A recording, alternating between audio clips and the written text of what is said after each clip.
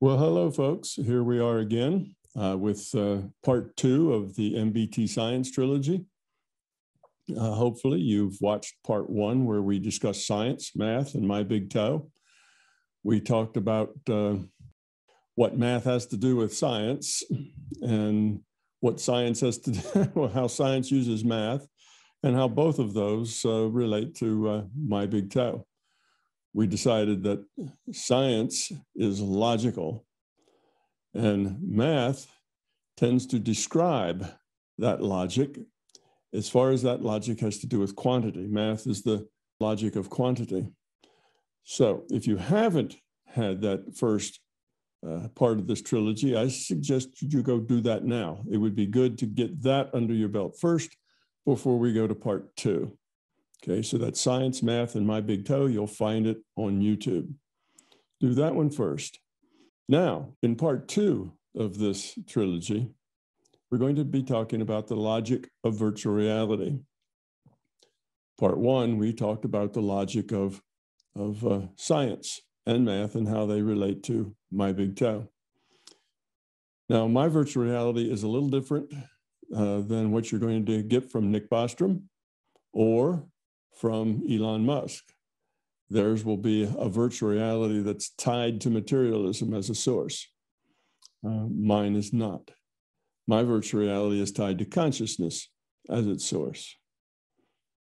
Okay, then later, uh, we're going to do part three, which is going to be the details of how the rendering engine renders this virtual reality.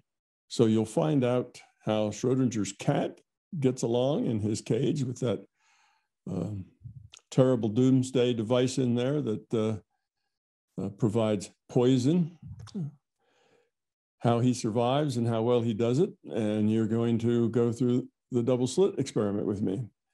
And the thing is, we're going to look at the details. In other words, behind the scenes at the rendering engine, how is it done? Another way of saying this is we're going to look at the fundamentals of reality, the fundamentals of physics. So, where physicists will uh, kind of trip over this idea of, well, the wave function collapses to a physical result. And how is it that that wave function collapses? Well, the measurement seems to make it collapse, but why does it collapse to that particular value? And what actually is happening when this wave function collapses and suddenly we have a physical thing, whereas before we didn't? How does that little bit of magic happen? And physics will tell you that they have no idea that this collapse of the wave function is kind of a, a magical, mystical thing that is uh, seems to happen. Obviously, we make the measurement and there's the result, but there's no real mechanism for how that works. Well, I will tell you what the mechanism is. It's uh, very straightforward when you look at it from the proper perspective. All right, so that's where we've been at part one. If you haven't done that, please go back and look at it first. Now we're going to do the logic of virtual reality and stay tuned for uh, the next version, which will be three, which is behind the scenes. How does physics really work? How does reality really work? Okay, so on with the logic of virtual reality. Okay, the problem is we need a massive paradigm change. If we look at all of the big shifts in our understanding, all of the big aha moments of humanity, we'll see that they all occurred because of a major paradigm shift. You know, the earth is round, a globe, not flat.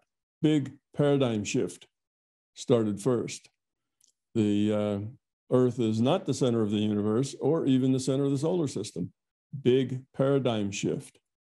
And now that we are here in the 20, you know, 2021, and we still don't know, almost exactly 100 years after the double slit experiment uh, was done for the first time, and it was understood uh, that our reality is is really based on probability, not on material things, not on matter. And we still, 100 years later, don't really understand how that works. Well, we will understand it precisely. We'll understand quantum mechanics as, as logical science, not weird science, as soon as we get this new paradigm shift that we need in order to see how the world really works. So a new perspective is required. All right, let's talk about that, that perspective. Our world contains many mysteries, many paradoxes. How did the universe come to be? Big Bang. You know, who's our creator, if there is one? Intelligent design. These are questions of science, of theology, and of philosophy. Why are we here? What's our purpose? Do we even have a purpose? Well, that's philosophy and metaphysics. Uh, the subjective nature of metaphysics, uh, ontology, epistemology, and cosmology make up metaphysics. Ontology is the study of being. Epistemology is the study of knowledge, and cosmology is the study of how all of this happened in the first place. Why are we here? How did we get here? Okay. It turns out that the answers to ontology, epistemology, and cosmology are mostly subjective answers, not objective answers. That's why Metaphysics comes under the heading of philosophy, not under the heading of physics.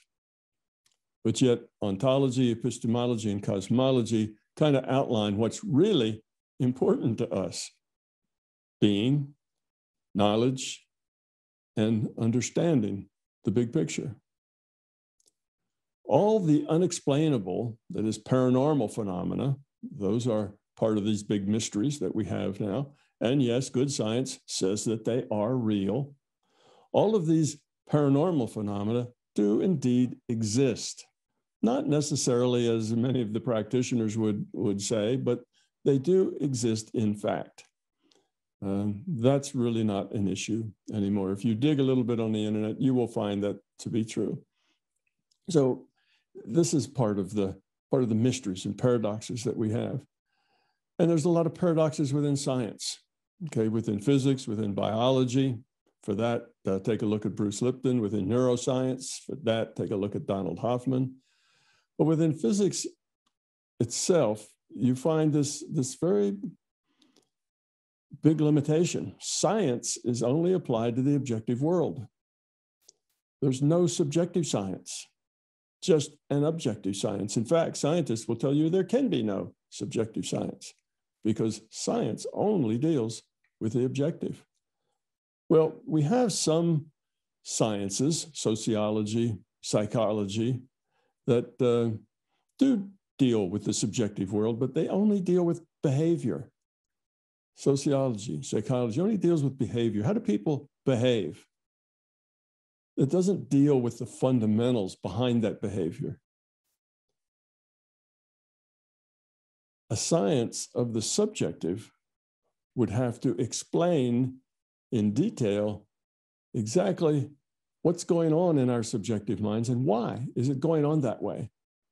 If we are constantly in struggle or upset or angry, there's a reason for that. There's a why. And it's not generally the reason or the why that the angry person would subscribe to it. The angry person would point a finger at somebody else and say, She makes me angry. But that's not really why that person is angry. So the subjective science will tell us about ourselves, about our minds, how we think, how we feel.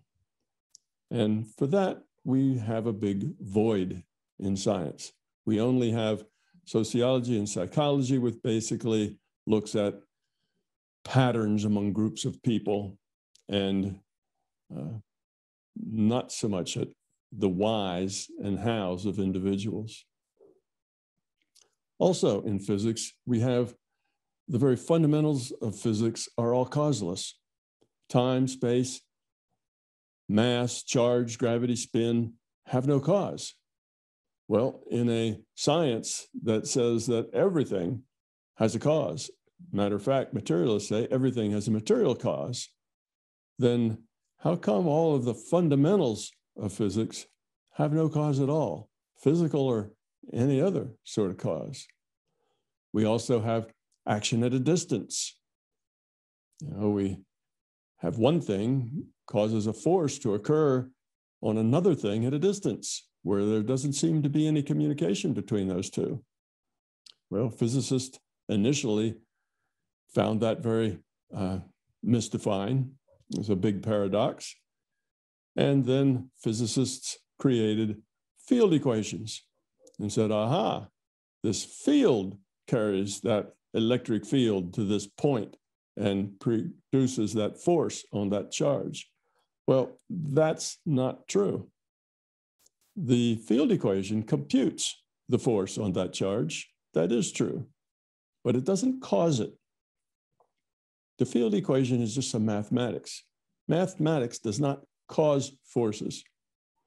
It just predicts forces, computes the force's value, but doesn't actually cause the force to be there. So actually, there are no fields. I should bring up John Wheeler. John Archibald Wheeler, a very renowned physicist, probably one of the best physicists that uh, the world has produced. And he started his career saying he thought everything was fields. Everything can be explained with the proper field theory. Then he realized that fields were not at the bottom of reality and that particles were. Everything is particles. And then he realized that particles really weren't at the bottom of reality either. It was information. Now, John Wheeler was the guy who coined the phrase it from bit, it, reality from bit, from information, from bits, as in bits and bytes. Besides that, we have other strange things in physics, like um, where did that ball of plasma that went bang in the Big Bang Theory, where did it come from? There's no cause for that. Our universe hadn't existed yet. It's the Big Bang that creates our universe. So it had to precede our universe, our material universe. And where did it come from? If all things in the universe are based on material in the universe, then the Big Bang that predates that had to come from someplace else, some other way, another big mystery in physics that cannot be solved. And then there's the weird physics of quantum theory. Not only the thing I mentioned is that, you know, how does the how does the uh, wave function collapse and why does it collapse to that particular value? But, you know, just in general, you hear quantum physics talked about as weird science, weird uh, physics, because of things like the double slit, where particles, for no particular reason, seem to arrange themselves in a distribution that looks like an interference pattern, even when only one particle at a time has entered the experiment. Then you hear physicists saying funny things like, well, the particle must have interfered with itself. It must have split, gone through both slits, and interfered with itself, which of course is a silly thing to say, particularly for a materialist. Or they have the probability goes through both slits, and the probability functions interact with each other. And that's what we're seeing in the pattern. Well, that's just as silly. None of that happens. Then we have relativity theory with its strangeness, length contraction, time dilation, mass increase, and of course, the hard problem of consciousness. That hard problem is hard because the hard problem is how do you get consciousness out of the brain, out of the physical body? How do a bunch of neurons and charge swirling around in the gray matter in your head create consciousness. And that is a problem that science has been working on for a long, long time and have had no success at all. They have lots of theory and ideas, but none of them actually pan out to work. And the reason that the problem is so hard is because consciousness is not created by the brain. It doesn't come from the material world. It's prior to the physical world. Consciousness is fundamental. The physical world is virtual. In fact, consciousness is the only thing that's fundamental. Well, with all these mysteries, with all these paradoxes through our uh, throughout our science, we obviously need a new perspective. We need to be able to see things in a different way, just look at them from a different viewpoint, where all of this that I've mentioned, all these mysteries and paradoxes, just suddenly are perfectly clear. We know exactly their solution, how to solve them, why they are the way they are. And as I said, all the big breakthroughs, all the big breakthroughs in, in science have all come from just nothing more than a new perspective, a new paradigm. Due to my very unusual background in both physics and consciousness research, I believe that I've found that perspective. Virtual reality, with consciousness as its substrate, with consciousness as its as its uh, the fundamental thing, that sort of virtual reality answers all these questions that I've mentioned. It solves all those paradoxes. All of them just disappear, and many more that I haven't talked about. They become logical necessities from that perspective, from the perspective of virtual reality. Now, where do we go for that perspective? Well, physics provides a big hint. Today, Many scientists, biologists, neuroscience, but mostly physicists, think that our so called physical reality is information based rather than matter based. That is what the facts tell us. That is what the experimental results tell us that our reality is information based. With that understanding, quantum physics begins to make sense even if the quantum physicists don't actually understand things like you know the collapse of the wave function or why should our reality have to be probabilistic and information based still they do get it that our reality is information based unfortunately most physicists also claim that they have no idea of just what information based means how that should be interpreted or what it logically implies. Well, that's what we're going to accomplish today. I'm going to show you what information based means and its logical implications. Now, an information based reality logically infers that reality is computable. Okay, all information is computable. Okay, what does that mean? That is computable. It means it can be computed. Computed logically implies simulated. And simulated logically implies a virtual reality.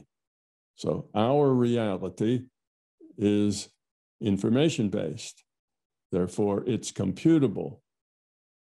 If it's computable, that implies it is a simulation which another word for that is it's a virtual reality.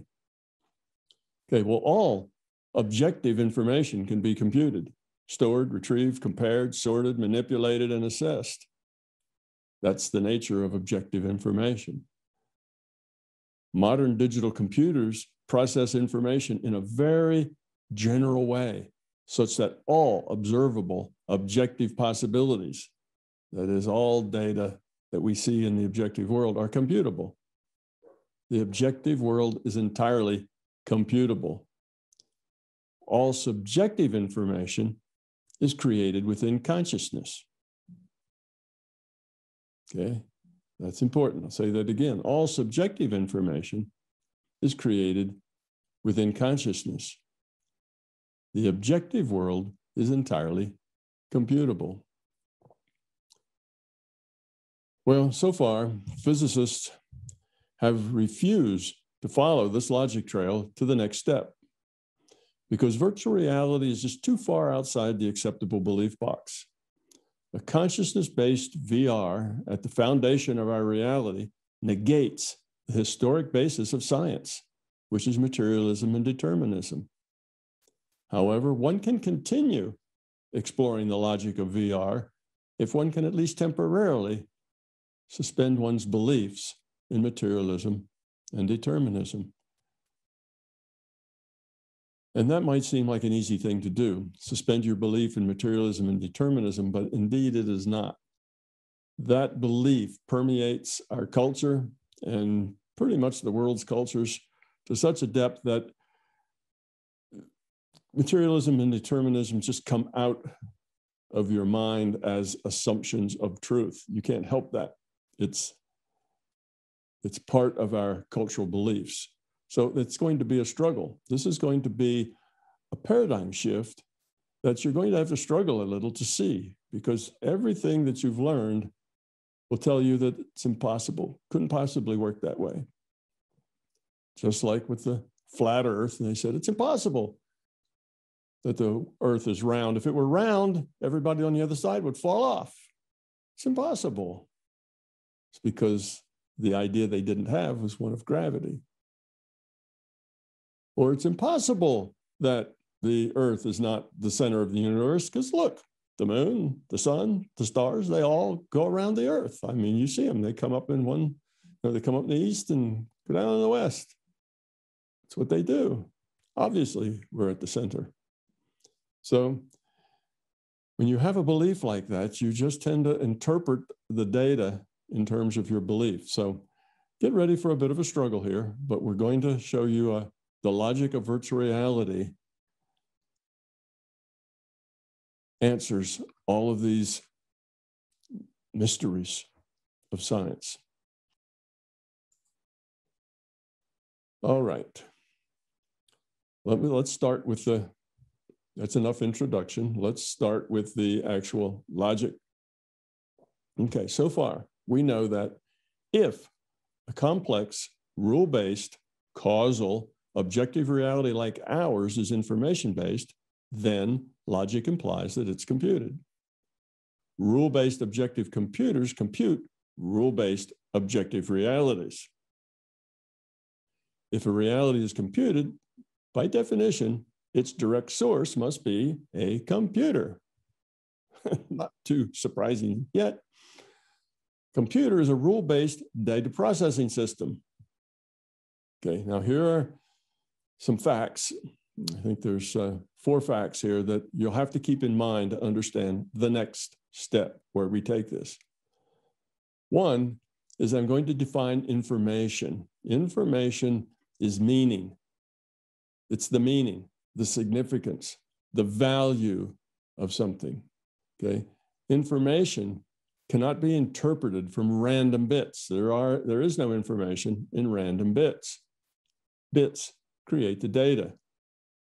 Now, information must be interpreted from data that have some sort of logic, right? There needs to be rules embedded within their configuration. Otherwise, if there's no rules, then they're random and random bits have no information. So what I'm saying is that there's a difference between information and data.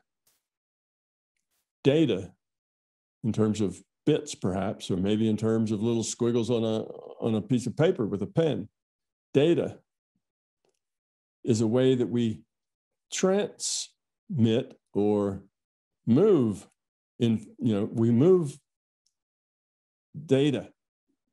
We don't move information around really, we move data around. A consciousness looks at that data and has to interpret what the meaning is. What does it mean? What's its significance? What's its value? Only a consciousness can do that. So a consciousness is required for information. Data is just the way that we can take information, like in our mind, we have understanding, and we can reduce that understanding to a series of alphabet letters, words, paragraphs. We can reduce it to bits in a computer in, say, a, a document. And we can change, we can convert the information to, from information to data. And we as a consciousness can also take in the data and interpret it as information. But don't confuse data, which is like a storage medium for information, symbolic, with the information itself, which is the meaning, the significance, and the value. Okay.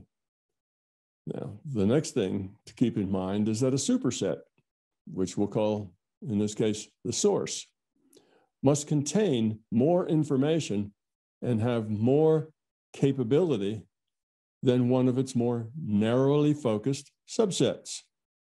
The piece, the subsystem, must be less than the whole, the super system. That's a very simple idea as well. The last thing is that consciousness is not objective. Consciousness is not objective and therefore cannot be objectively computed. That, that consciousness is not objective and therefore cannot be objectively computed. Yet our reality contains consciousness. We know that. We, we are conscious. We interact with other conscious beings. So consciousness is in our reality. But it cannot be computed. Okay. Remember, I said rule based objective computers compute rule based objective realities.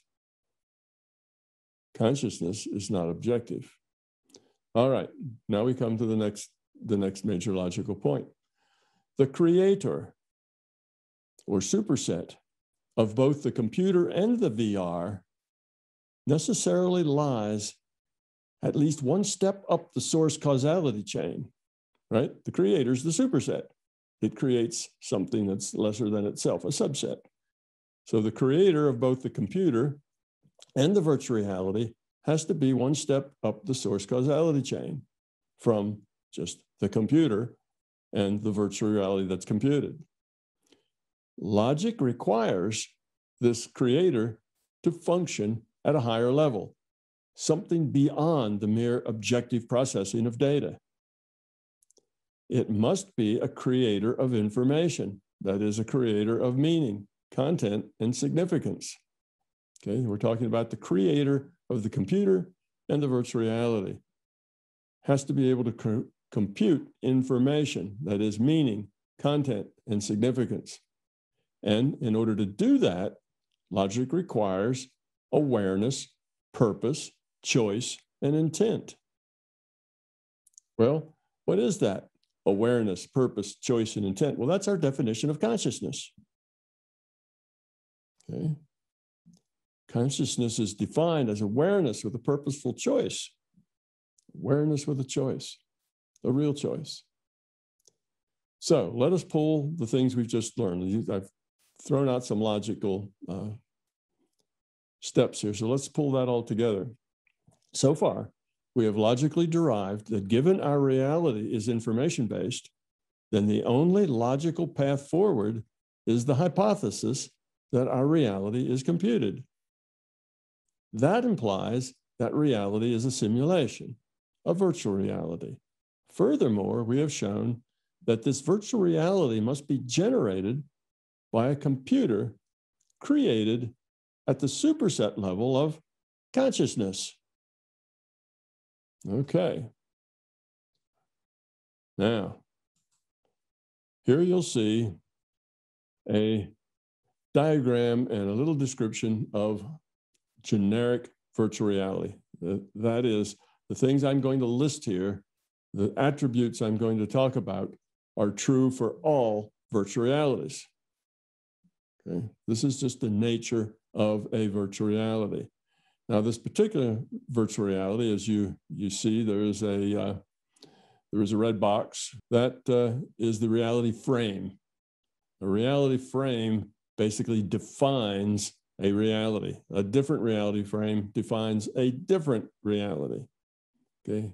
These different realities are likely to be independent of each other.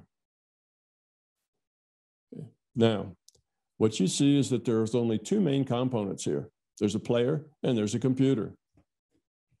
Well, the way it works is that the computer, here, the computer creates a data stream.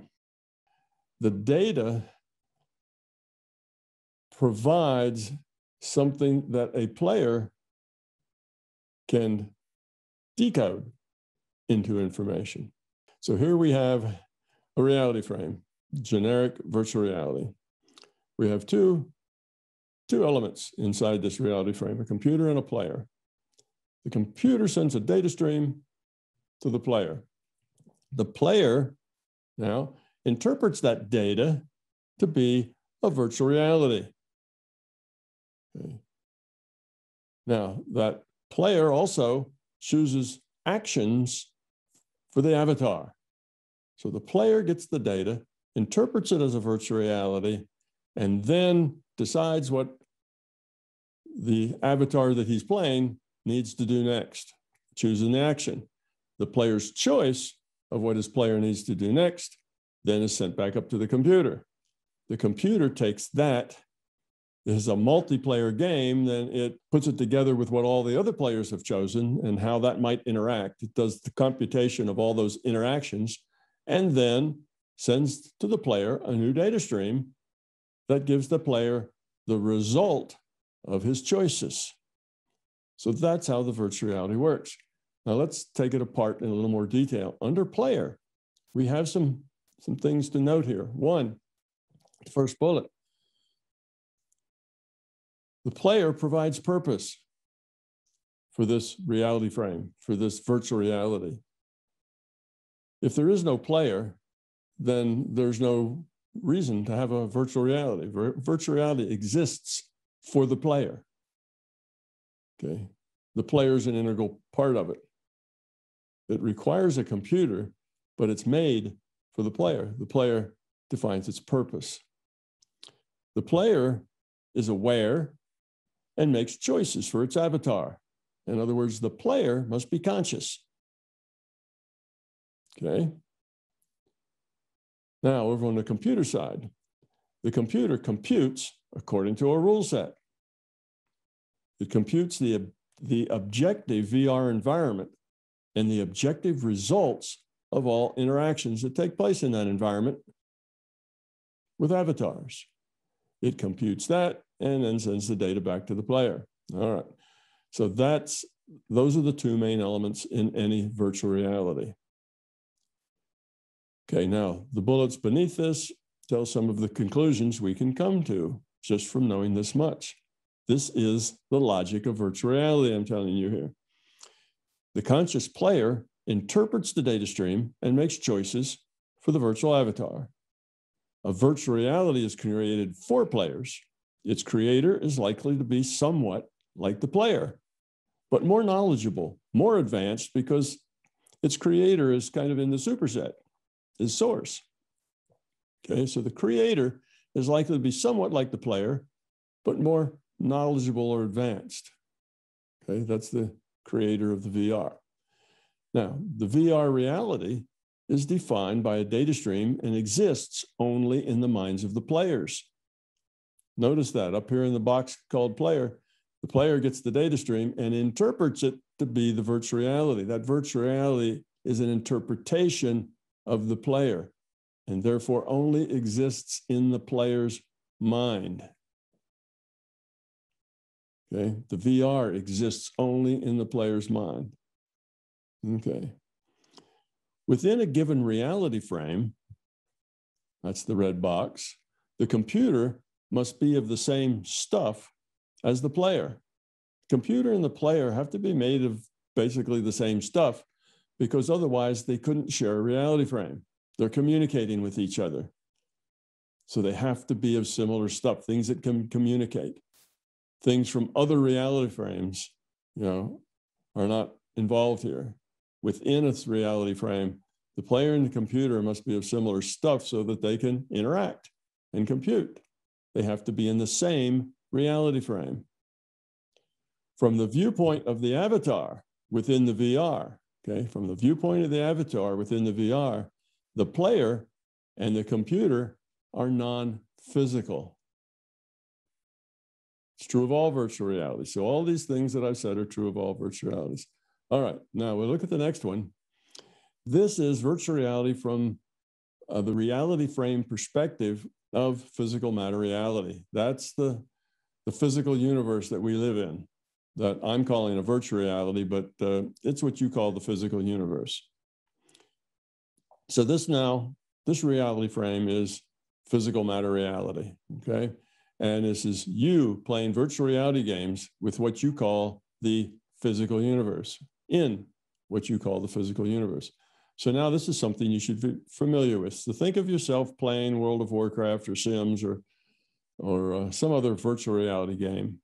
This is how it works. Now I'm going to go through exactly the same thing so that you can see, does this work for you?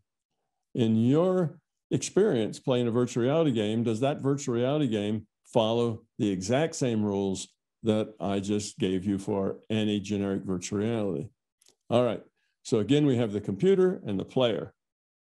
Computer creates the data stream, player interprets the data, all that's the same. But now we're in a different reality frame, not a generic frame, but the PMR frame.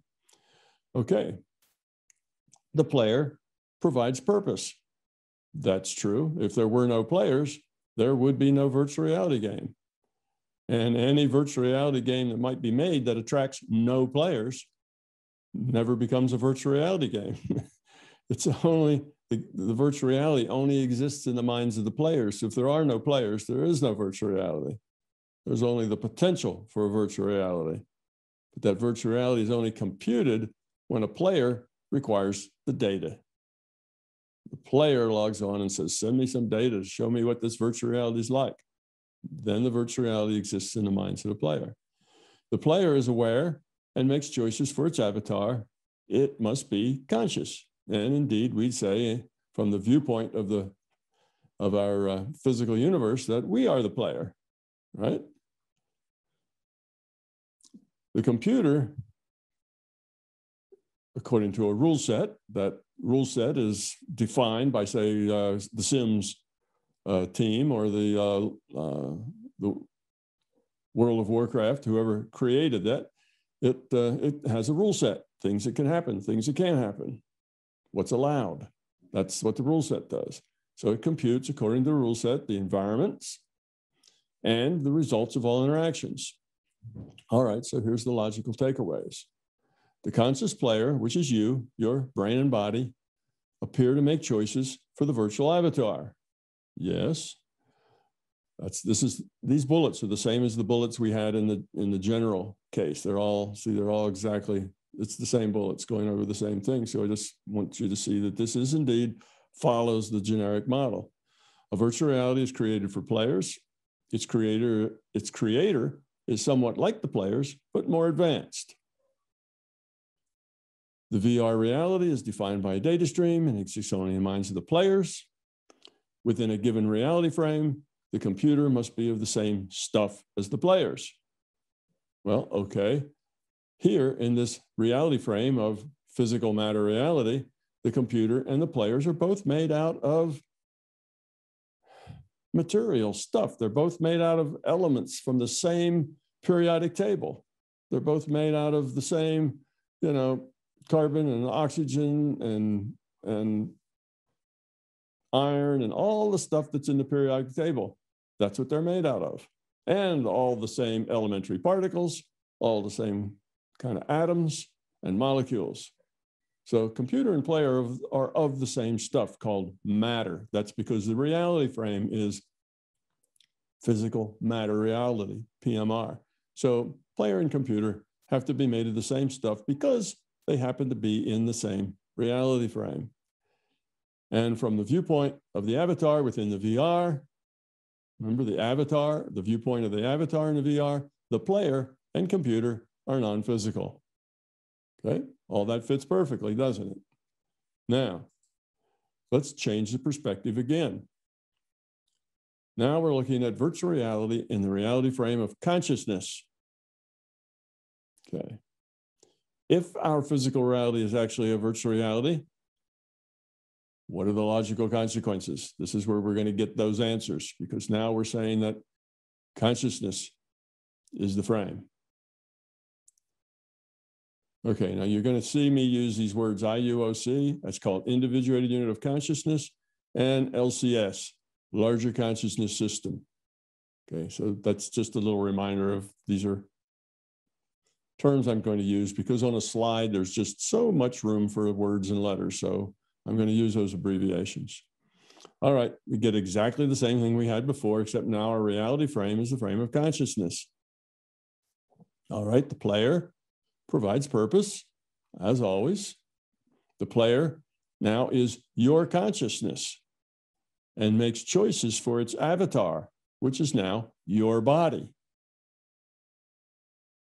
The player must be conscious, a subset of the larger consciousness system, right? It is. The player is your consciousness. That's you. You are your consciousness. Your body is simply a computed avatar. Okay, and over here, the computer computes according to a rule set. Now the rule set is what we call science. You know, all the physics and chemistry and biology, uh, all those rules.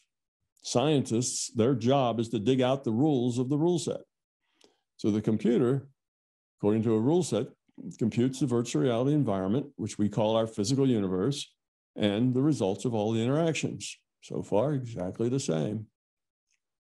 Now, the summary, logical summary is the conscious player, you, an individuated unit of consciousness, makes all the choices for the virtual avatar, your body. Virtual reality is created for players. Its creator is somewhat like the player, but more advanced. Okay, well, you are the player, you are consciousness. The larger consciousness system which is the fundamental consciousness system, that's a little more advanced, but it's much like you. It's a piece of consciousness as well. Okay, so the two are the creator, somewhat like the player, but more advanced. Now, the virtual reality is defined by a data stream and exists only in the minds of the player. Okay, the virtual reality only exists in the minds of the players. The player is you, you as consciousness, as an individuated unit of consciousness. And this virtual reality called the physical universe only exists in the minds of the players. And that immediately solves the observer paradox. How come an observer tends to change the way things happen in physics, you know, in the double slit experiment? If you have an observer observing what slit it goes through, well, it does one thing. And if you don't have the observer, it does something entirely different. So, what does having an observer have to do with it? It's called the measurement paradox. The actual making the measurement seems to affect the outcome. Well, it's a paradox because people don't understand the logic of virtual reality. The virtual reality exists only in the minds of the players. The player being aware what information the player has is key to what is in the virtual reality. If there is no player that gets the information, that information, that data cannot get into the virtual reality. The only way into a virtual reality is through the mind of a player, you see. So the observer paradox solved. Within a given reality frame, the computer must be of the same stuff as the player. Well, it is. The player is your consciousness, and the computer is a part of the larger consciousness system. The larger consciousness system configures just a portion of itself to be the computer that is the server or the rendering engine, if you will, of our virtual reality. So they're both basically consciousness stuff. So they're both of the same stuff. Okay, computer's a subset of the larger conscious system, and so is the individuated unit of consciousness player. Now, from the viewpoint of the avatar within the VR, what's that? That's your body. The player, your consciousness, and the computer, the larger conscious system, appear non physical. Indeed, they do. So you see, if we just follow the logic of virtual reality, a whole lot of things become obvious who we are and why we're here and what we're supposed to do and so on. Um, that, those are all logical consequences I'll get to a little later. But this is the basic logic of VR. Because the player is conscious, The reality frame is consciousness and the computer is consciousness. So this is a virtual reality computed within consciousness. And you are a piece of consciousness, a player.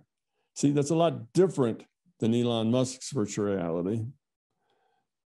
His is a virtual reality created by other material beings who are advanced compared to us. He says maybe our future selves, and they're computing this on their material computers just for fun to amuse themselves. Well, that's a very, very weak argument, but it doesn't work. It doesn't explain anything. None of these paradoxes get resolved by that kind of a virtual reality. All the paradoxes are still in place. All right, so it doesn't really offer anything. And it doesn't explain the paranormal or many of the other things, you know, how and why the, the uh, wave function collapses and so on. It doesn't really explain anything. It's a, it's a, uh, a possibility, we could say, but it doesn't go anywhere. Okay. So then the question might be, well, if that's the uh, logic of virtual reality, why would the conscious system do this?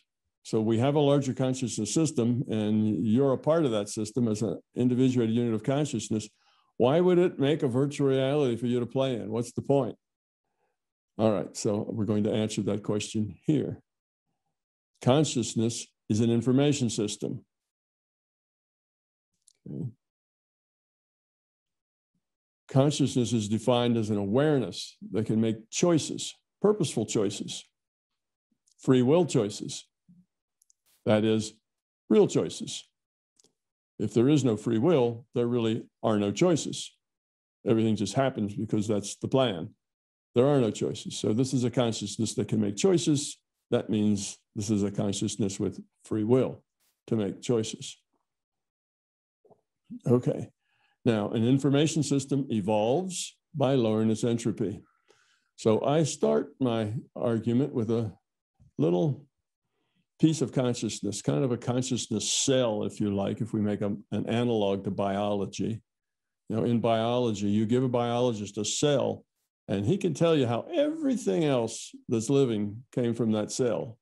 You know, he'll start with a cell, and uh, well, maybe you'd need a more than one cell, but you start with a cell, and you can end up describing how all the bushes and trees and plants and people and animals of all sorts all uh, were evolved on this planet. So everything that's living here evolves from just a couple of cells, okay, individual single cells.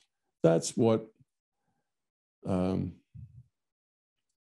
the theory of evolution does. Now, I make a, a, a similar case, and I'm starting with a consciousness cell, which is just the, the smallest piece of consciousness that one can imagine. What is it that can make, has awareness and make a choice? Well, it would be an awareness, which means it's, it's aware of itself. And right now, it doesn't have to be aware of anything else other than itself. And it's aware that it can exist in, say, this state or that state. It can exist as a one or a zero or as a hot and a cold or an acid base or doesn't matter what, just this and something other than this. That's a binary. That's a bit. Okay, so if you have a bit, you can create information. So that's where consciousness starts, and then it has to evolve. It evolves by lowering the entropy of the system, of consciousness system. Now, if a consciousness system has all, all its bits are random, then there is no information in the system.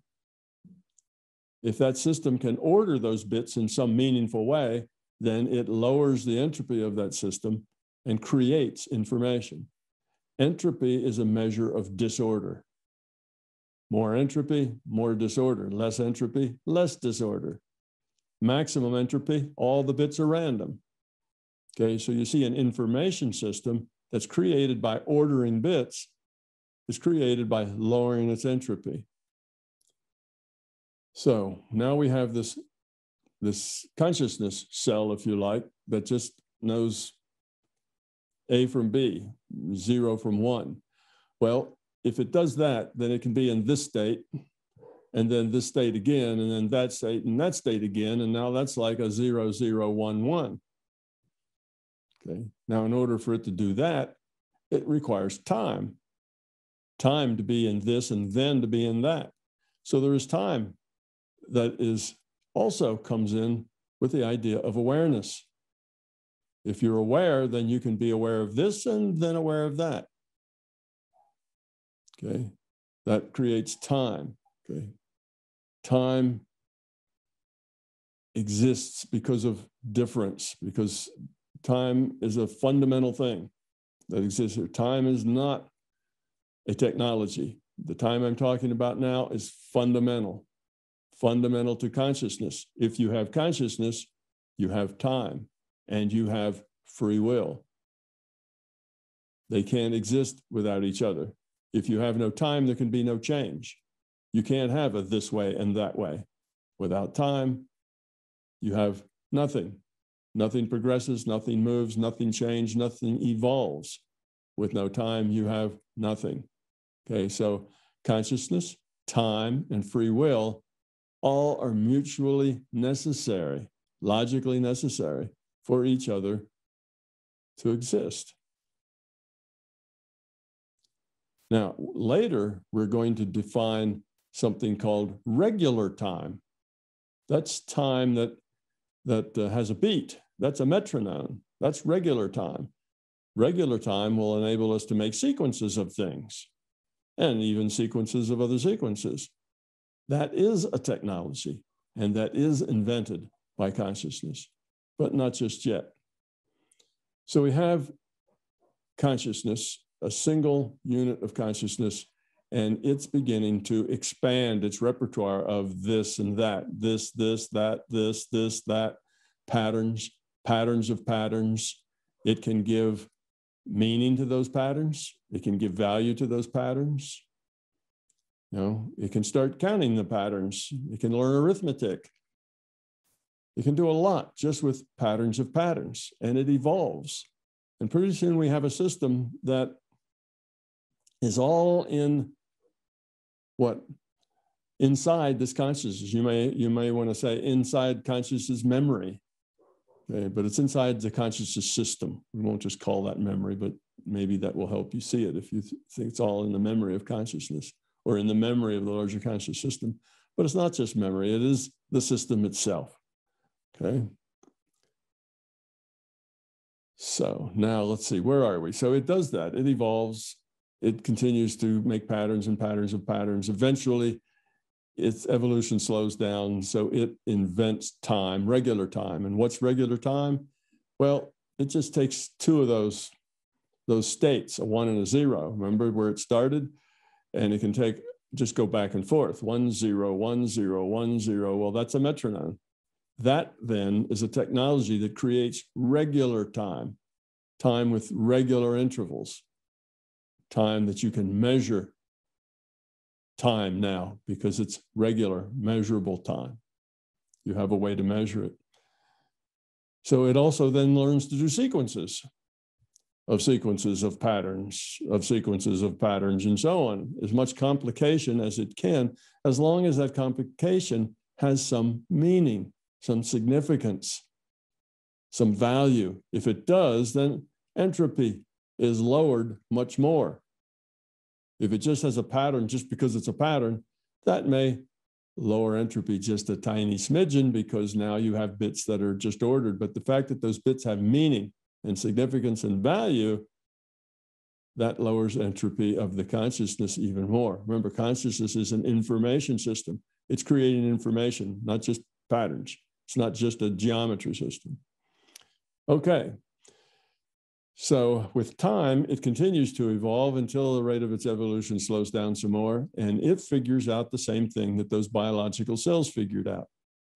And that is that it could create a lot more potential of what it could become, of the way that it could configure itself if it split apart, if it took part of itself and then interacted with that part. In other words, this is where the single cells decided to become multiple celled things, split apart, then work together, cooperate, interact, work as a team. And if you do that, then you can create more complex things. So instead of just single cells, now you can have complex things like jellyfish and, and all sorts of other little creatures and things that are much, have a much broader range of things that they can do and things that they can interact with. They're much uh, lower entropy. They're also more complex, more complicated, but they're also more survivable and more able to procreate and survive, which means in our biological system, they're a better bet for moving into the future. Well, consciousness came to the same conclusion. In order to continue evolving, it needed to take a chunk of itself, give that chunk free will, and have an interaction with it and do that again and again and again to where there was lots of these little individuated units of consciousness, which is what you and I are. And so are dogs and cats and chickens and bumblebees, anything that's conscious. And it's conscious if it makes free will choices. That's the definition. So it created all these IUOCs and interacted with them together, the larger conscious system and all of its IUOCs form a social system because they interact. What one does affects all the others. That's what happens in a social system. What one piece does affects the other pieces. There's feedback, there's connection, there's interaction.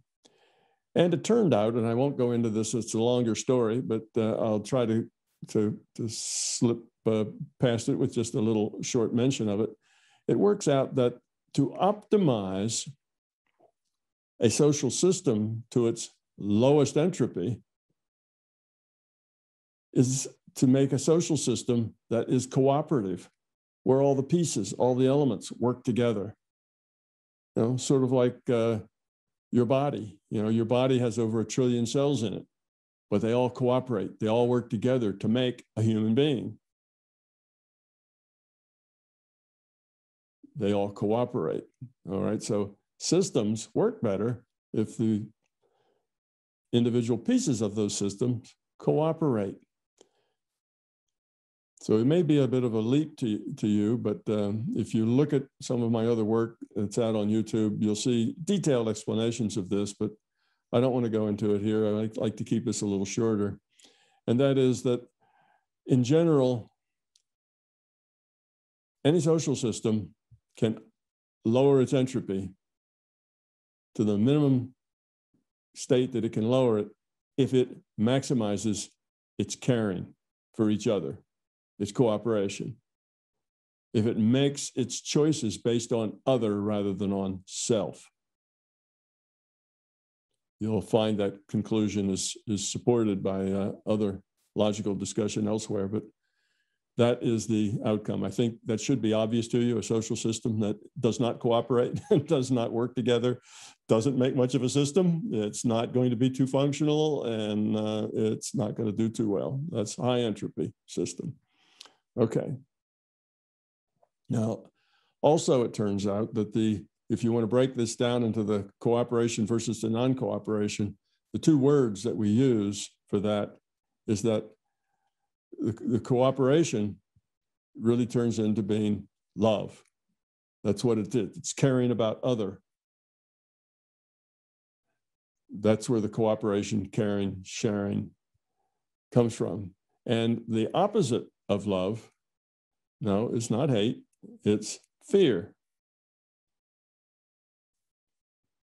Fear is just the opposite of love in that love is about other, fear is about self. Okay, so social systems lower their entropy by increasing their cooperation, caring, sharing, helping, love about other, and decreasing their hate, arrogance, self centeredness, greed. That's fear. It's about self. Now, you may think this love and fear names are kind of off, off the wall, but there's there's reason for that, and you'll just have to look at some of the other work that I've done to to uh, get the details there. Okay, so the positive direction of evolution. Remember, we said that information systems evolve by lowering their entropy. The positive direction of the larger conscious systems evolution and our evolution as IUOCs is toward love and away from fear.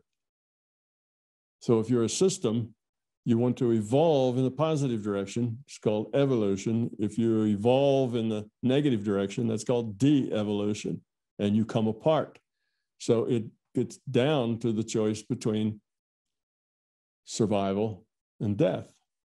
If you continually de-evolve and create more and more entropy, you'll eventually be nothing but entropy, like all the bits are random, and you won't have an information system. Information system is dead. Or you can keep evolving positively, creating more and more connections, more and more uh, uh, cooperation, more and more value, information, you know, information carrying substance, creating more information. That's what information systems do. They evolve to create more useful information, lower entropy.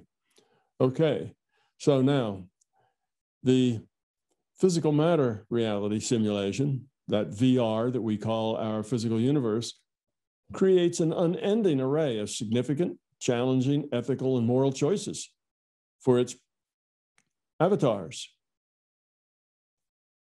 And pieces of consciousness, we IUOCs, individual units of consciousness, we log on to those avatars play, that means we make all of their choices. And that's how the IUOCs evolve the quality of their consciousness by the quality of their choices. So,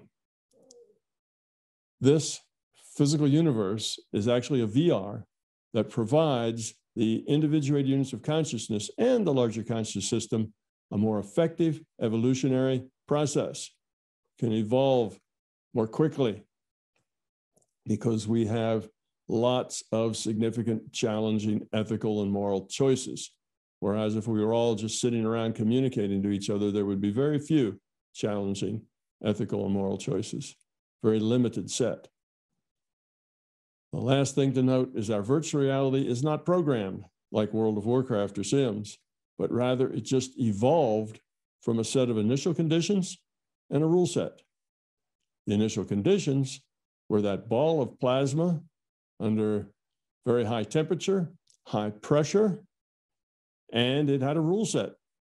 Again, called science. It's what scientists do. They dig out the rules. The rule set says how all these things interact with each other. What happens? How do they interact? So at T equals zero, the run button was hit and that ball of plasma began to expand because of its pressure and it cooled and it made suns and planets and so on. And you know the rest of that story. It just evolves. Eventually things like us evolved here on a planet like this. And here we are now uh, having a discussion about the nature of reality. So our vr evolved from a set of initial conditions that provided the big digital bang, and a rule set that provided how these conditions could change. All right, so that gets us to this next slide. So this is just a, a cartoon of what it was that I was just telling you. Okay, this is the evolution of the larger conscious system. It starts over here, all the way to the left is elemental consciousness, binary, two ordered bits. And why that? Because that's just simple. That's the simplest thing you can interact with. The simplest interaction you can have is two things. All right. That in time evolved to some kind of monolithic consciousness, which included regular time as a, as a technology, which then evolved into the larger consciousness system, which is kind of the management, the operating system, and a whole bunch of individuated units of consciousness made out of the same stuff. This whole thing is a social system, and it's all called the larger consciousness system.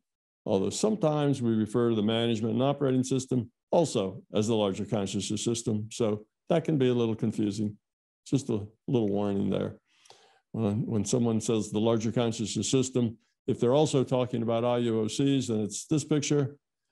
If it's uh, the larger conscious system, as opposed to the IUOCs, then we're talking just about the management operating system. Okay, here's time. This is evolution, positive evolution going off to, from uh, left to right. Sometimes we call that growing up, increasing the quality of consciousness for both. So now look at as these individual pieces, you and I, as we evolve our quality of consciousness, we're part of this whole system here. So the whole system evolves as we evolve. So we, the IUCs, are part of it, the management and operating systems evolution as well, because we're all part of the same system. All right, so now consciousness is defined as awareness with a choice. When I say with a choice, that means the, the choice isn't random, it has purpose. It isn't for no reason, it has an intention. And just to have a choice at all requires free will. So, this purpose, intention, and free will is what we mean when we say awareness with a choice. All right, so now the larger conscious system and individual units of conscious purpose are defined. So, what is our purpose? Why are we here? Well, social systems lower their entropy, evolve, and optimize their potential through cooperation, caring, and sharing. A focus on other rather than self. All right. Now, we're going to get more to the mechanics of rendering our VR. And this then will be the, the beginning of what you need to know in order for me to explain to you about Schrodinger's cat and about how that wave function collapses. What does that mean? What is actually going on behind the scenes when we say a wave function collapses? Okay, well, this is the kind of the lead in so that when we get to that, you'll understand it. So the mechanics of rendering our VR. So what we have is a top-down probability model. That's our virtual reality. Is a top-down probability model sitting on top of a predominantly deterministic rule set. Now, what does that mean? Top-down or bottom-up? Those are two opposite things. A bottom-up virtual reality would be a virtual reality where you start with the smallest elementary particles, right? You start with electrons and quarks and things and make up neutrons and protons. You um, take the, the neutrons and protons and make up and electrons and make up atoms. And you take the atoms and make up molecules. And you take the molecules and make up the, the macro world. All right. That is a bottom up. Start at the bottom, the detail, work your way up. A top down probability model says you don't do all that. You don't start at the bottom. Okay. It's a top down probability model sitting on top of a predominantly deterministic rule set. So the rule set is mostly deterministic rules, physics, biology, chemistry, the rules of our reality, predominantly deterministic, but it's also has randomness in it. When a radioactive element decays, it's random the direction that it flings off a particle. There's natural randomness in this reality. So that's why I say predominantly deterministic, because some processes are naturally random processes. Okay, now, when you have a probability model, that says instead of computing from the, the the uh, causal chain from the bottom up, you have a probability model of that causal chain, and you basically put in some random numbers and pull out a good answer out of the probability, how this probably works. Now, the way you do that is you have to have an accurate probability distribution. These are generated from the rule set. Okay. The probability distributions are used to simplify the simulation as much as possible. If you had to make this simulation from the bottom up, you'd never be able to do it. It would be too hard, too complicated, too many particles, too many calculations. And in fact, I've even heard some people uh, claim that they prove that it's impossible. You couldn't possibly make it from the bottom up. It's just too hard to do. Okay. So how does that work? Let me take an example. We have a, an old Civil War cannon, and maybe we have thousands of, maybe tens of thousands of Civil War cannons. So you have to go down into the deterministic rule set. And of course, it's a virtual cannon because this is a virtual reality. So even when the first cannon was made, it was made by avatars in a virtual reality and had to be rendered by the rendering machine. So the rendering machines know all about the materials and how it was made because the rendering machine had to render it as it was developed, as it was made. So the rendering machine and the, and the computer knows exactly how this cannon is put together and what the materials were and all the rest of it. So it does a model. And in that simulation, it simulates the cannon and has some, some uh, parameters like how many shots were fired and how old is the cannon and what was it made of? Is it made out of cast iron or was it made out of steel or what, uh, what all the parameters are? And it comes up with a good model, right? A simulation of what this cannon can do. So now that it has created that, we know that when a cannon fires, where the cannonball lands has some probability attached to it. If you fire a cannon 10 times, the ball doesn't land at exactly the same place every time. There's lots of variation.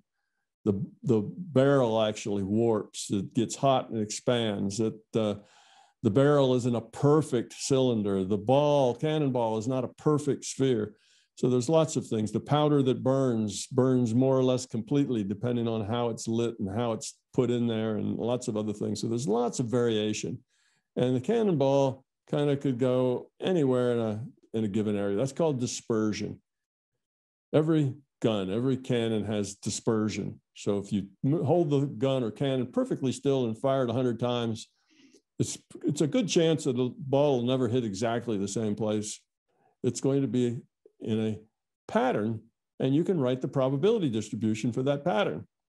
So you know what the probability is, it, is for it to land here or there or some other place and you know how it'll go so far away and the probability that it lands there is zero. Okay, so that's what I mean by modeling things at the deterministic level, at the rule set, coming up with a probability model like a cannon, so that now we have a Civil War cannon, we have 10,000 cannons, and every time somebody fires a cannon, the virtual reality just has to place a cannonball at a random draw from the probability distribution of where those balls land developed from its own model. So you see, it's done all the work, but it only has to do it once. Because now, if there's 10,000 cannons all firing at the same day, well, all they are is 10,000 random draws for each shot. And the computer can do that without breaking a sweat. That's easy.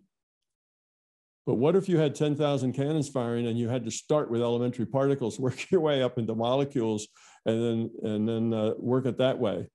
It would take you 10 years just to compute all of that. If you could compute all of that, every molecule, every atom.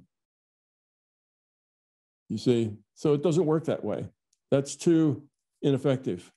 Our uh, reality doesn't work like that. It's computed as a probability model sitting on top of a predominantly deterministic rule set. And the probability distributions are used to simplify the simulation. So where you have a civil war with all these cannons firing, it doesn't matter if that simulation is good to seven decimal places. It just has to be approximately right because when a cannon goes off and a ball lands someplace, nobody runs out and measures it and decides whether that was, you know, appropriate for the probability distribution. So the system doesn't use any more fidelity than it needs for the situation that it's making. Now, if you do have an experimental cannon and a whole bunch of uh, people who are out there measuring exactly where the balls land, then it has to be more careful. So it makes a higher resolution model for that. And if you have people with atom smashers smashing little particles into each other, then it needs higher resolution so that it can compute that. Okay, so now here's the, that's the idea of what I mean by a top-down probability model sitting on top of a predominantly deterministic rule set. By doing that, it can it can compute all of the things that have to happen here and compute them easily and quickly. It doesn't have to work from elementary particles up to the up to the world to do it. But that creates a problem. And how it solves that problem turns out to be the key to how the wave function collapses. All right, here's the problem. As long as you have a bottom up, you know what's going to happen next because of you have the rule set, the physical causality. So if a ball or a rock is rolling down the side of a mountain, you know what's going to happen next. It's going to roll a little further. And next, it's going to continue to roll and so on. It's easy. If you know where it is, its velocity, what's in front of it, and all of the history, then computing what happens next is just a matter of saying where does the past lead to the to the present in the next delta t. Well, when you do a probability model from the top, you don't have that path of physical causality to tell you what's going to happen next. So, how do you deal with that? Well, the answer is you take a random draw from the probability distribution of the possibilities.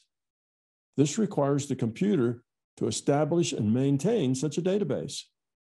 So the computer has a database of the probability of all the possibilities. You see, that's how it knows what's going to happen next because it doesn't have the causal chain coming up from the bottom. All right, that's a very important thing. So hold that in mind. We'll get back to that uh, later. So, what comes into this reality through the mind of a player has to stay here as part of this reality until all the information supporting its existence disappears. Okay, so what does that mean? Well, let me give you an example.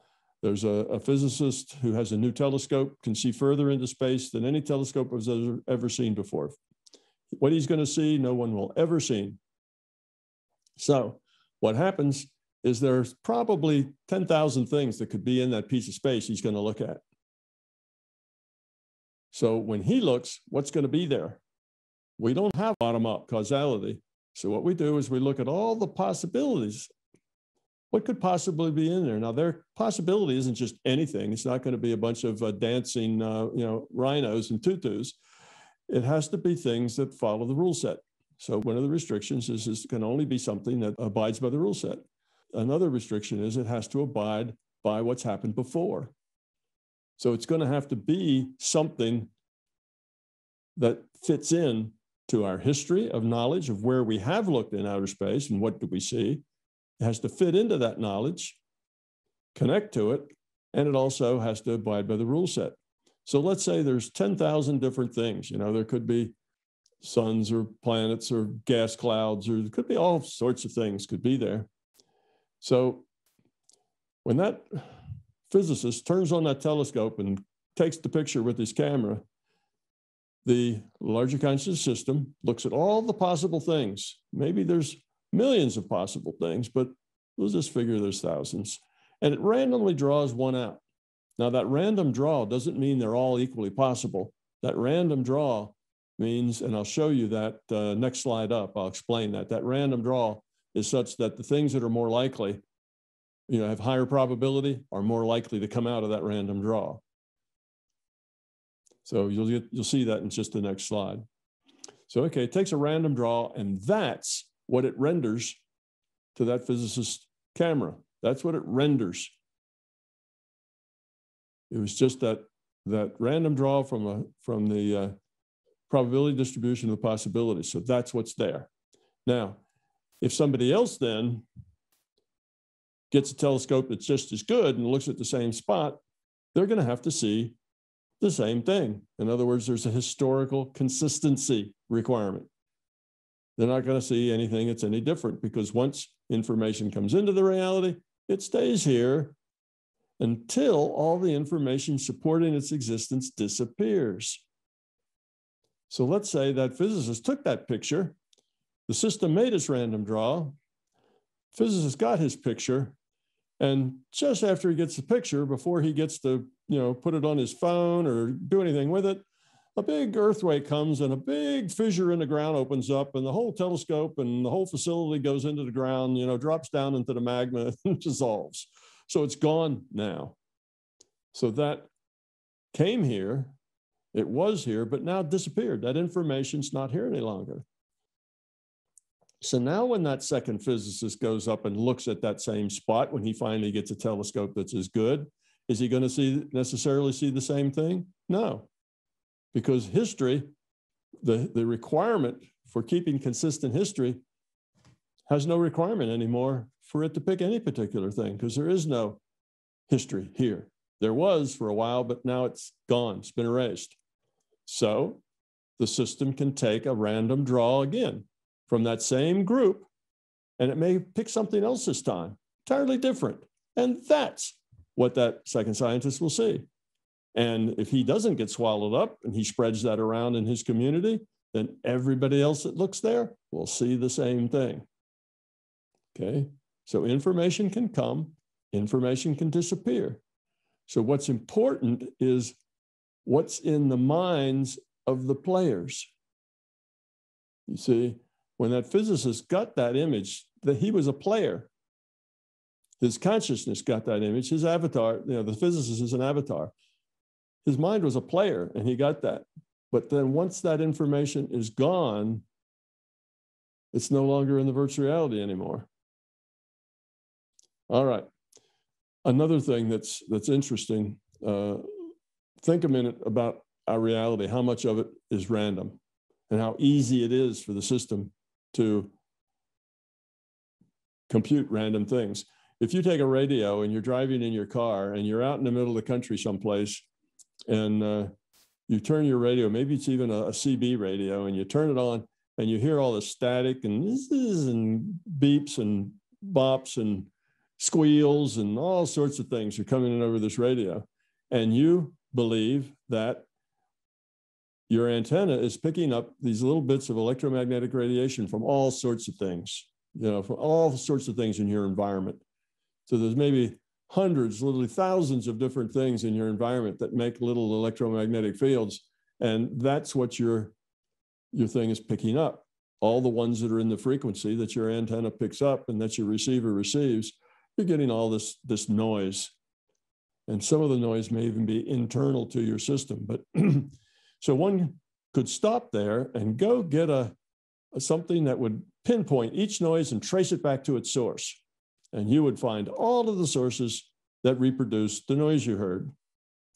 But now, if you are the larger consciousness system and somebody's out in the country and they have their radio turned on, why would you bother to compute the superposition of all the 10,000 sources so that you would get the correct static on that radio?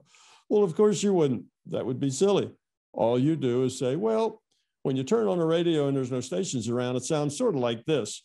And you just produce some static that really has nothing to do with all of those potential sources. It just sounds like static. And that's good enough. You see, the person driving his car in the country is not going to know the difference. He doesn't know. In other words, there's so much uncertainty as to those sources of static that the system doesn't have to pay any attention to them. So not only is his top-down probability model efficient as far as calculation goes, but in many cases where there's natural uncertainty, there's almost no calculation that has to be done. Things that are really complicated, like 10,000 sources of electromagnetic radiation making, making uh, noise on your, on your radio, you don't have to bother with any of that. All you have to do is make something that sounds like the static would probably sound similar to the way the static would probably sound if you did calculate it. You see? So there's a lot of things that the system can save on, can compute just trivially from this top down probability approach. So it makes the whole simulation possible this top-down probability model.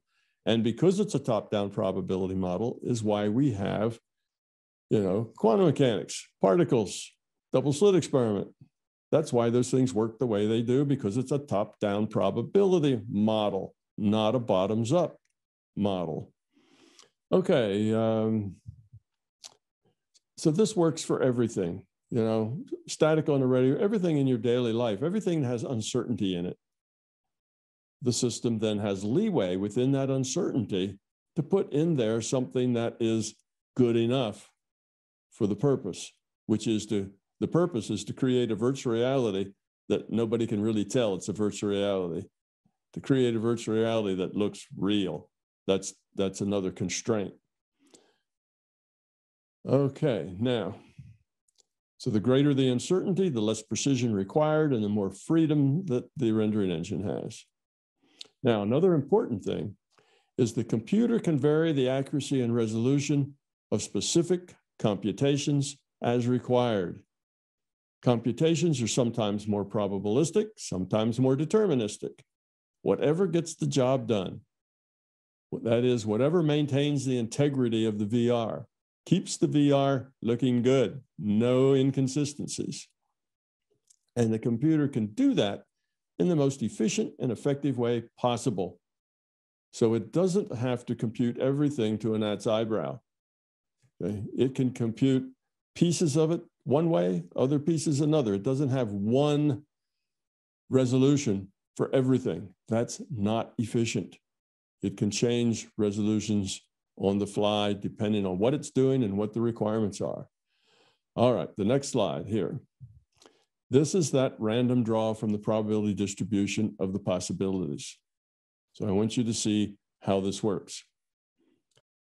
Here we have 25 possible outcomes. Each one has a letter of the alphabet. So letters A to Z, 25 different possible outcomes.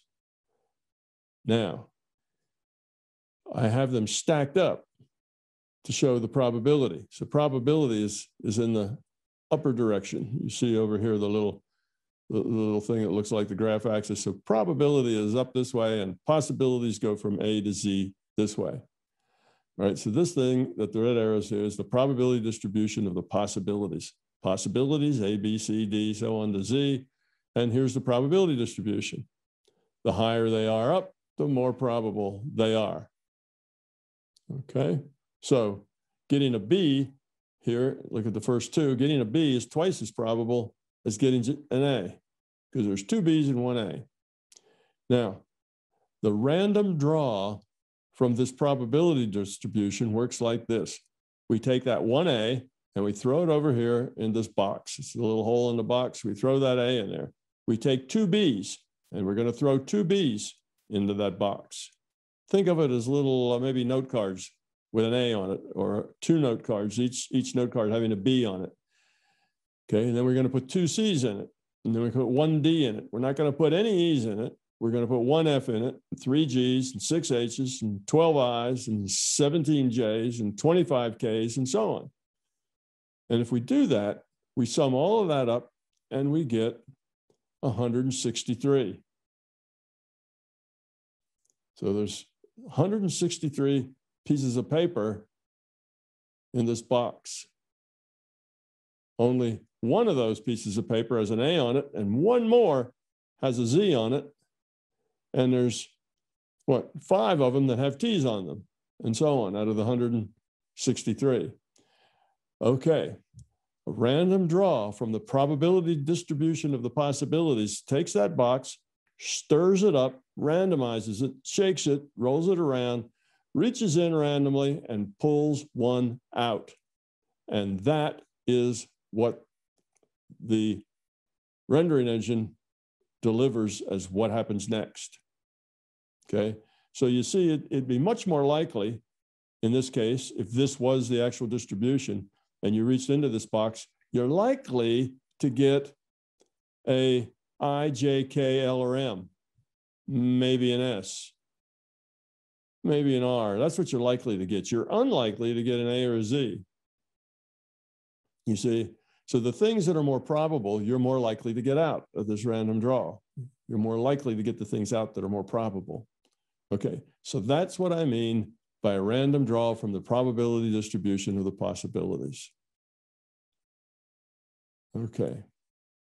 Now, what that means is that all kinds of strange things can happen. And we know life is like that. you know, life is like that. Strange things can happen. So it could be that those 163 cards in there with different letters written on them, it could that we pull out an A or a Z. It's possible. We're never going to get an E because there aren't any E's in there. So we'll not get one of those. Zero of those. But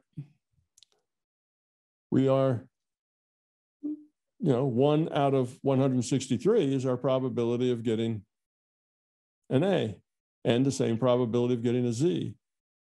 Okay. So it could be that when we make this draw, we'll end up with an A or a Z. And that'll be just, wow, nobody expected that. That's just one of those, you know, you make a measurement, you come out with a with a strange result, and that's the way your reality is rendered. Sometimes things are strange. Okay, so that's what it means. Now, when this random draw is made, that is the collapse of the probability function to a physical result. That's what's happening when you when you get a physical result at a measurement. So we have a double slit experiment. I'm going to measure on the screen. Where is that going to hit on the screen? Well, there's all these different places it could land, and, and I'll show you that when we talk about the double slit experiment later.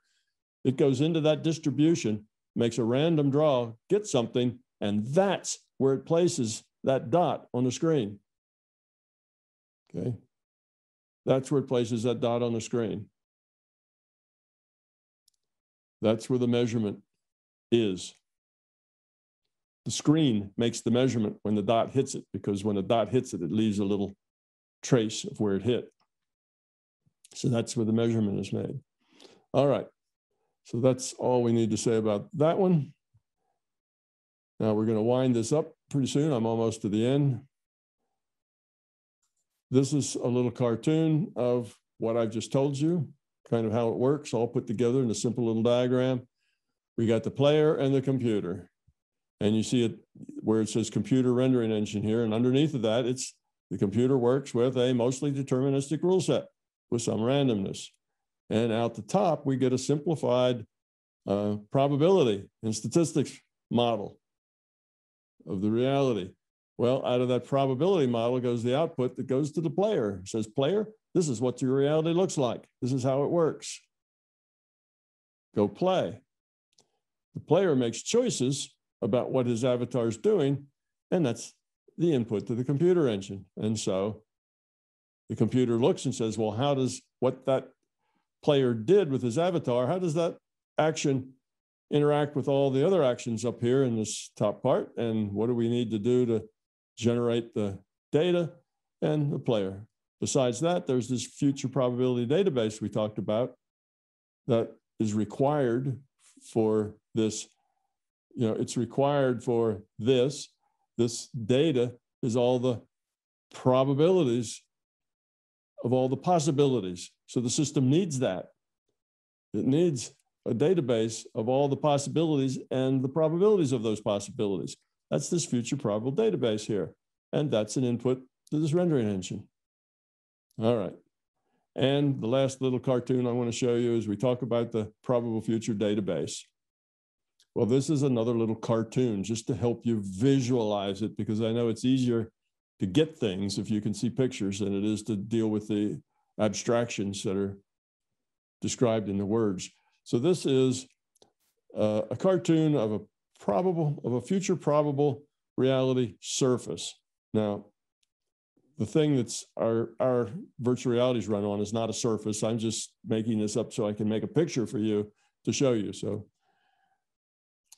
notice that we have this disk, that's the surface, and we have T here and the line T here. T is time and it's radial.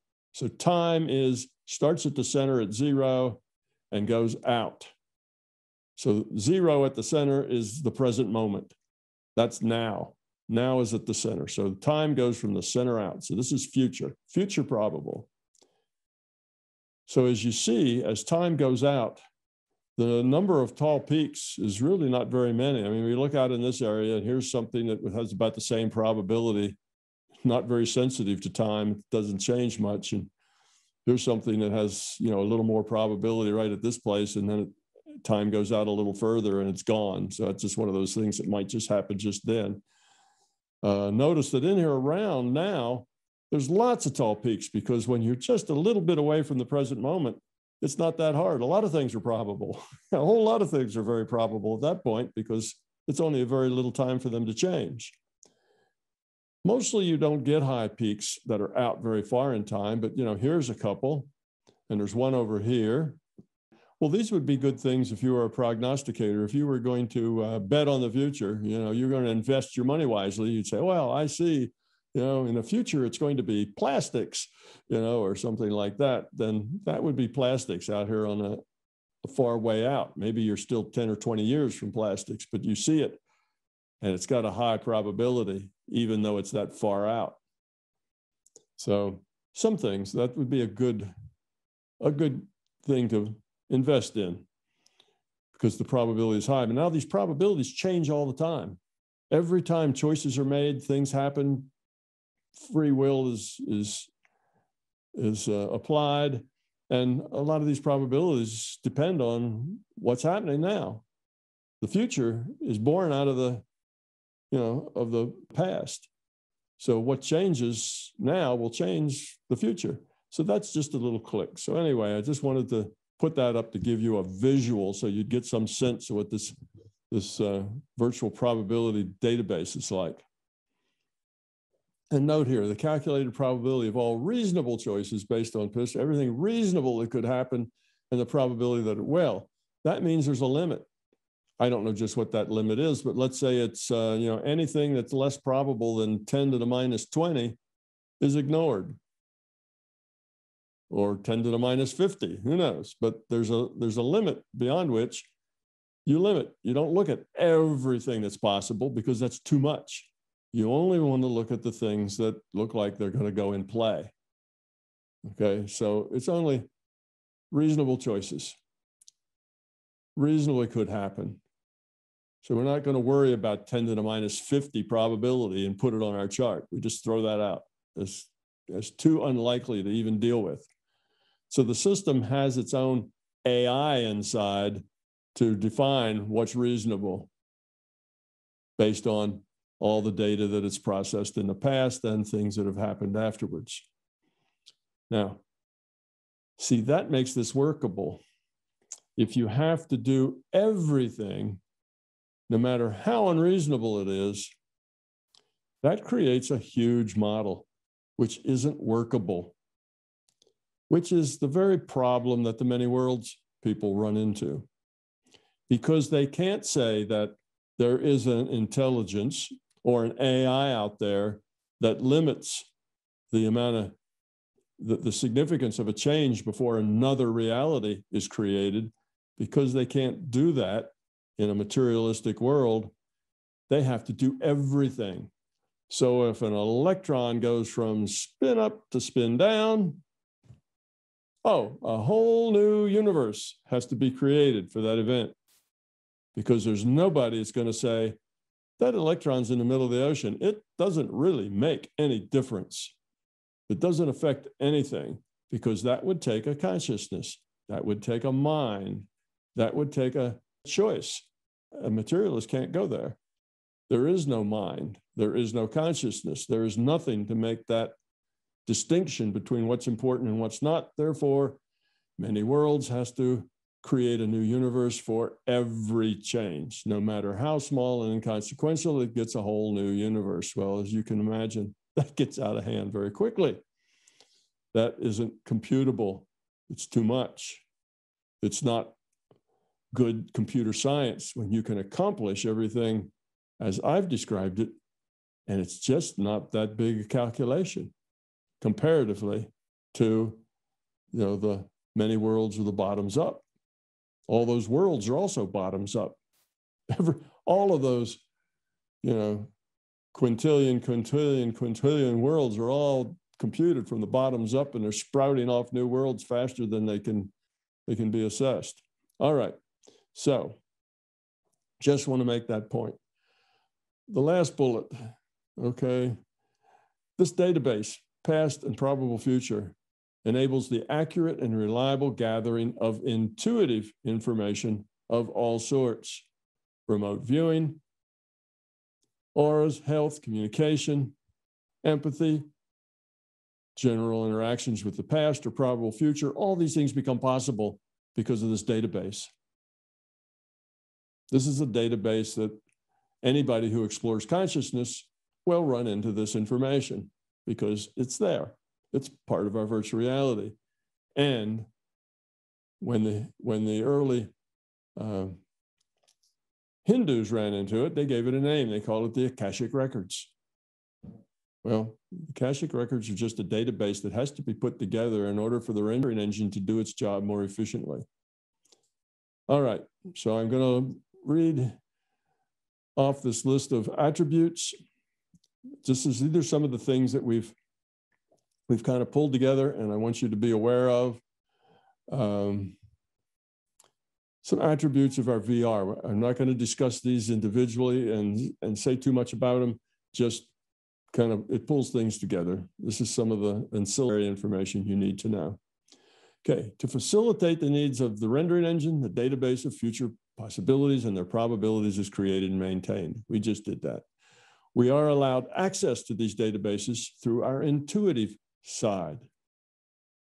We can't take our intellect there, but our intuition can go there and query those databases. And much of the information that we get that's intuitive comes from these databases.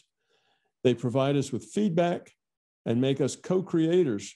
The LCS allows us to modify these future probabilities with our intent. Okay, we can modify the probabilities in this database with our intent. That's how the placebo effect works. That's how mind can heal, mind can change events, change probabilities. It's not that mind can just go in and rearrange stuff as it wants, it just modifies the future probabilities. So when that random draw from the probability distribution comes along, some probabilities are larger and others smaller because of someone's intent. All consciousness is netted. And I just made up this term, the, rea- the reality wide web. It's like the World Wide Web, except it's through all reality. All consciousness is netted. So things like telepathy uh, are a real thing. And we do that all the time. We just don't do it on the intellectual side, we do it on the intuitive side. The system evolves as we evolve, so it has an incentive to be helpful to us and help us evolve. Our success is its success. And just to point out, these last four bullets enable and define our paranormal experiences, including intuition, healing, remote viewing, synchronicities, telepathy, gathering of intuitive information of all sorts falls into this. You know, looking at auras, a lot of other things are all basically fall out of these uh, these features. Okay, this is really the last slide in this in this series. The next time I come back, I'm going to be telling you about Schrodinger's cat, and it'll be the cat's meow. You can uh, see how uh, see how that wave function collapses to dead or alive without without there being a superposition of cats or a superposition of wave functions because they're really wave function is just a a mathematical fiction it's a way of doing the mathematics okay it's not even necessary. Actually, Heisenberg had another method called using matrices that didn't have a wave function in it. So he didn't need a wave function to collapse. It's just a different mathematical process. All right, last slide. Consciousness. Two sources of data, two different ways of processing data. See this kind of lumpy thing here in the middle? That's your consciousness. How do you draw a picture of consciousness? It's non-physical, it's hard. So I just put in this lumpy cloud-like thing. And we'll call that consciousness. Okay. Now, this consciousness has two processing paths. One is just as robust as the other, just as meaningful. Each one can process data as accurately and as reliably as the other. One is not more or less reliable or more or less accurate. It just depends on how much you develop them. All right, now in our culture, we develop data source one over here, which is the intellect, the intellect, process one. We develop that. We go to school, we go to preschool, we go to school, we continue to learn and learn and learn, and we're honing and polishing and developing that intellect all the while. It's important to us. Over here, process two is intuition. We don't develop it at all. Matter of fact, most of us deny it even exists. There is no intuition. That's all just a hallucination. People just think they have an intuition. There is no such thing. So we ignore it entirely. So we should not be very surprised if it seems unreliable and undeveloped and can't seem to figure out what's going on ever because it's undeveloped. Your intellect would be like that if you never developed it, if you never learned how to read or write, never had any conversations, never thought about anything. Your intellect would be like a what? I don't know, small, small animal, perhaps. You know, your intellect would be nothing. Well, it doesn't, that's not the intellect's fault. That would be the fault of you not developing it. And that's the same over here with his intuition. If you don't think you have an intuition, that's wrong. You have an intuition. You just never developed it. So it doesn't, it's not accurate, it's not reliable. It can be just as accurate and reliable as the intellect if you develop it. Now, from the intellect, that's data source one. That's the avatar sense data. What comes into your intellect is all the sense data that comes through your avatar. Your avatar has what? Five senses what it hears, what it sees, what it smells, what it tastes, what it touches. All that data is the source data for your intellect. And all that data comes from within the VR. That's all the inside the VR data. Data source two is everything that's in consciousness, all the information in consciousness. And so far, we've only talked about a couple of things. So that's why I have them listed the probable future and past databases and all other information from outside the VR. That means from consciousness, from other IUOCs, from the larger consciousness system, everything that's on that net we talked about. That processes comes into process, that data comes in process two through the intuition. Now, both the process one and process two, they can talk to each other. They can communicate. That's what this little red arrow is going both directions. If you develop it, these two can work together, which is what they're meant to do. They can work together wonderfully because process two has a huge amount of data that it can work with.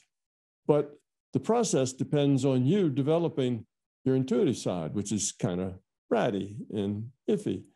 Whereas the intellect has logic as its tool, but it only has sense data. It can't, you know, that's not enough. Who should I marry? How many children should I have? Should I take this job or that job? Should I quit my job?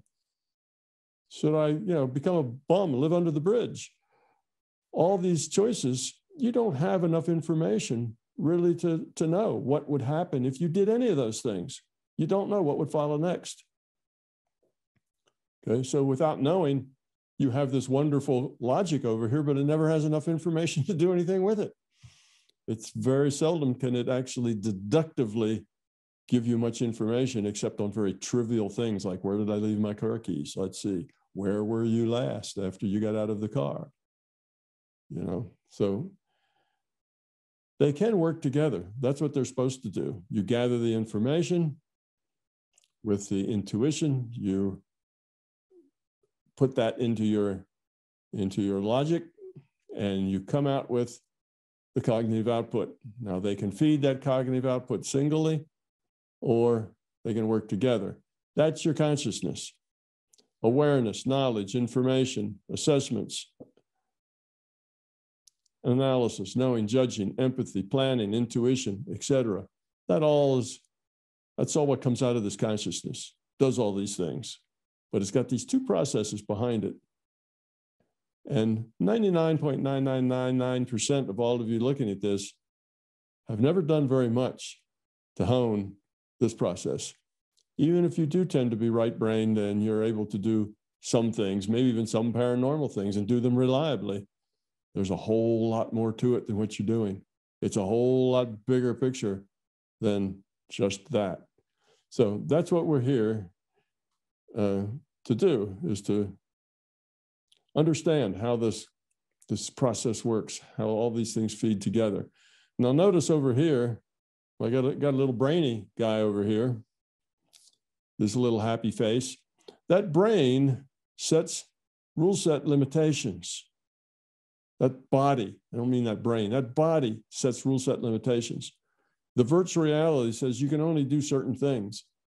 I want to fly. And as much as I flap my arms up and down, I just can't get off the ground because the rule set doesn't allow it.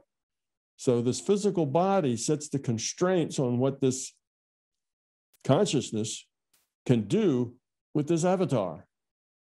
You see? So if the avatar gets hit over the head with an iron bar and loses its memory and slurs its words, this consciousness has to work with an avatar who can't remember anything and can't speak clearly. See? All right. When equally developed, both sources and processes are balanced, equally accurate and reliable. That makes a whole human being. Now, next, this will be my slide for when I start the next presentation. We're done now with science, math, and my big toe. Go look that up if you haven't seen it yet. Now we've just finished the logic of virtual reality. Next coming is the logic behind the scenes. Details of how and why PMR's rendering engine creates our reality. The examples are going to be Schrodinger's cat and the double slit experiment. So that's what's coming up next. So as they say, stay tuned and uh, you're going to see exactly how that uh, wave function collapses. So we showed you it collapses from that random draw from the probability distribution. And you'll see how that works because we're actually going to do a Schrodinger's cat experiment, but not with a real cat. We're going to use a virtual cat. And uh, we are going to show you though the, how the whole thing, the whole things work. So that's what will be next. Well, that's it. Thank you for watching this, uh, this series of three, this trilogy of MBT Science. And uh, I hope you will. Uh, oh, I should tell you, this is another thing I should say before I go, and that is that when you look at this video, if you want the slides, you can get them, all of them. All of the slides will be available. All right. Thank you so much. Uh, I hope you've learned something interesting. This is Tom, over and out. Tom Campbell here. and MBT Events hope you liked this video. We now have well over a thousand hours of free video on this user-friendly, ad-free YouTube channel. Though these videos are free to our viewers, they represent many thousands of hours in production and editing and many thousands of dollars invested in video and audio equipment, along with the required computers and software to store and process the raw video into finished products. So far, all of this content has been funded directly out of our own pockets. Be assured, we will always continue to do what we can. It's our life, our purpose, a labor of love that we will continue to pursue as best we can. However, those pockets are not as deep as they used to be.